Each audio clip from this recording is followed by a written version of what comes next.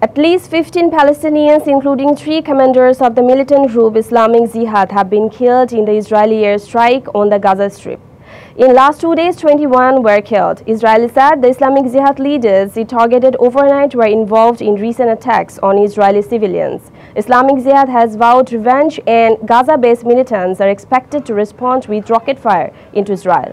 The extent of any escalation is likely to depend on whether Hamas, which controls Gaza, decides to join in. Israel Prime Minister Benjamin Netanyahu said this country was prepared for all possibilities. The strikes were in the deadliest since three days of hostilities between Israeli and Islamic Jihad last August, in which 49 Palestinians were killed in Gaza. At least eight persons were killed and dozens injured after PTI protesters and police engaged in clashes in Peshawar in Khyber Pakhtunkhwa of Pakistan on Wednesday as tense mood gripped the country following the arrest of former President Prime Minister Imran Khan.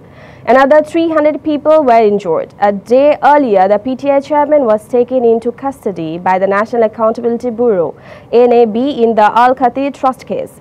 The move sparked violent protesters across the country with PTI protesters attacking cantonment areas in different cities.